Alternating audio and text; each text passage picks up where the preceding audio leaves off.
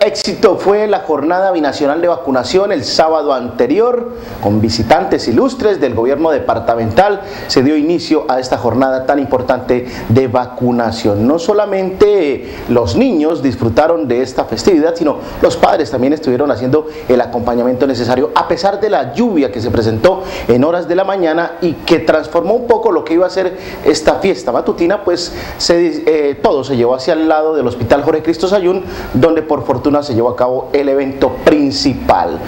Vimos en su ardua labor a la doctora Ana María Pérez, la directora del Hospital Jorge Cristo Sayún, la secretaria de Salud del municipio, la doctora Emperatriz Millán, también alcaldesa de Villar estuvo haciendo el acompañamiento en esta jornada binacional de vacunación. Hablamos con Ladi Torres, coordinadora de vacunación en Villa del Rosario, y con Hermógenes Ortega, coordinador de salud infantil. Ellos hicieron este balance para Telefrontera. Venía Telefrontera, doctora, ¿y qué podemos informar a la comunidad respecto a ese balance que entregamos el día de hoy sobre la actividad que se llevó a cabo el pasado 30 de abril, el pasado sábado, en el Parque Principal de Villa del Rosario. Bueno, un saludo a toda la población de Villa del Rosario. El pasado sábado 30 de abril se realizó la jornada de vacunación de las Américas y también se realizó el Día del Niño por parte de la Administración Municipal, una actividad en conjunto con las partes representativas tanto del Hospital José Cristo Sayún y de la Administración Municipal. Ese día eh, se aplicó todos los biológicos que nos patrocina el Ministerio de la Protección Social, se contó con 14 puestos de vacunación del área periférica del municipio y la sede central.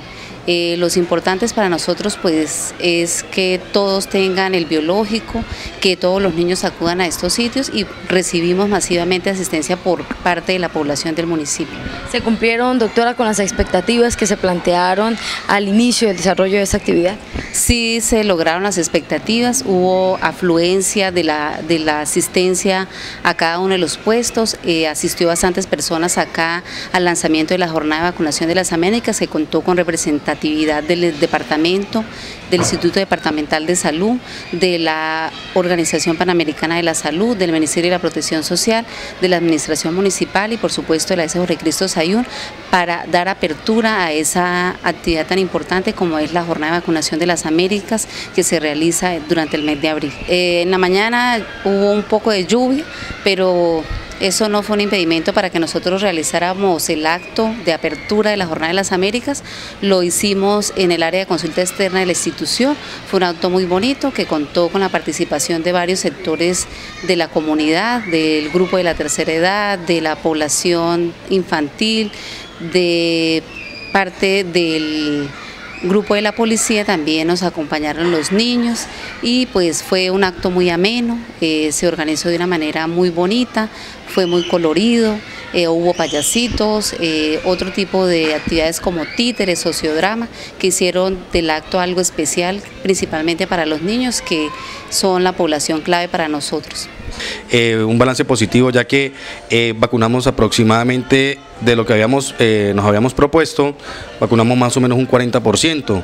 Eh, esto ayuda a las coberturas de, vacunación del municipio, ya que eh, ya se sacó el total de lo que se ha vacunado en población menor de un año y llegamos a más o menos unas 140 dosis en terceras dosis de penta y polio.